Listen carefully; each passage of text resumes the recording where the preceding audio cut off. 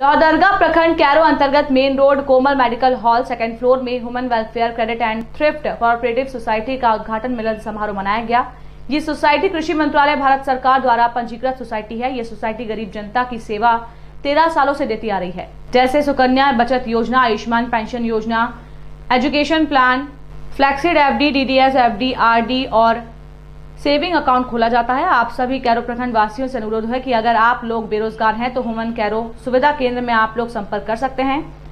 Human welfare, credit and thrift cooperative society उद्घाटन मिलन समारोह का मुख्य अतिथि ex achiever Shri Umesh Chandra, CP promoter स्वागतकर्ता, Kairo human सुविधा केंद्र मैनेजर रवि कुमार रजाक, रामस्वरूप चौधरी सुरेंद्र कुमार भुइया, एमडी रशीद अंसारी, विनोद रविदास, फुलमणि देवी बुद्ध राम उराम गोविंद कुमार मुखर्जी, अशरफ राय, बिग्गा पाहन रामविलास रविदास और ह्यूमन सोसाइटी के सैकड़ों सीपी और सदस्य मीडिया कर्मी